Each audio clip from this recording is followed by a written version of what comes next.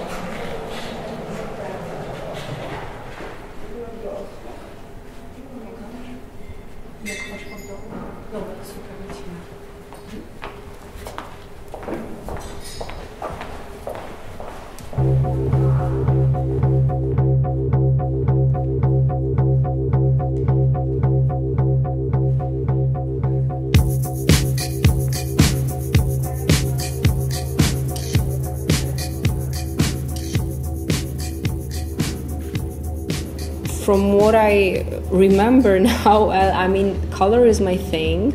You know, I start with the form or with the colors. This is something that really attracts me. Then a human body, the woman's body, and some kind of situation that you might say was not directed. I mean, always when I start to work with the model, I pretend that I am not taking the pictures of her yet I'm always saying, "Oh yeah, I'm preparing the light, so you just do your stuff, but stand here." And then, oh, then the model would always do something really nice and natural, and then I take picture. And usually, the first picture is the pictures that I would choose for the shoot. You know, I was shooting fashion from the beginning, so in order to that, you need a stylist. If you have to go into the studio, then you also need a set designer when I work on location, I don't use set design that much, and it's completely different photography.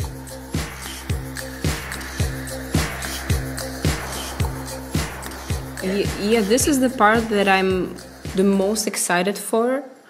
Uh, it's always like, okay, so I prepare like some idea at home. I have some idea of colors, some idea of set design, some idea of styling and then we come to the studio and obviously i have no idea what i will be doing so but i'm really excited because i know that like i need like 10 15 minutes or 20 minutes and like in in some time there something will happen and i don't really i have no idea what will happen but i know that it will happen because it usually comes.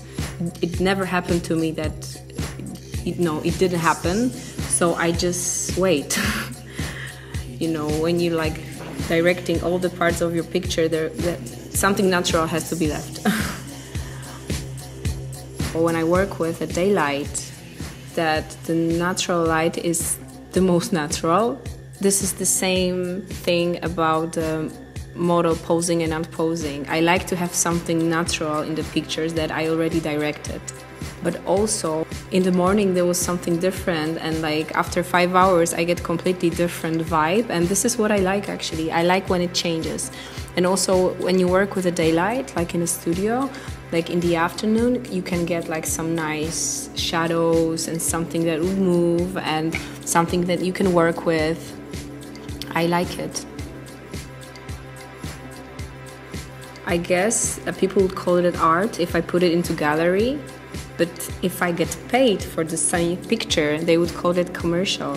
The border is like very fluent, you know.